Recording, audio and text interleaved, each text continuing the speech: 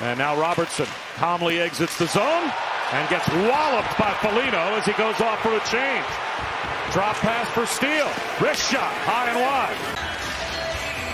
Uh, we keep talking about physical play, and Foligno watches hit here on Jason Robertson. And Robertson has to have awareness there. You can see when he got to the bench, he didn't like that hit, but these types of hits are the kind of hits that can just wear down star players in a series. It's one thing in the in the regular season to you know rack up points, but when you get inside a playoff series and you're going to face the same opponent game after game.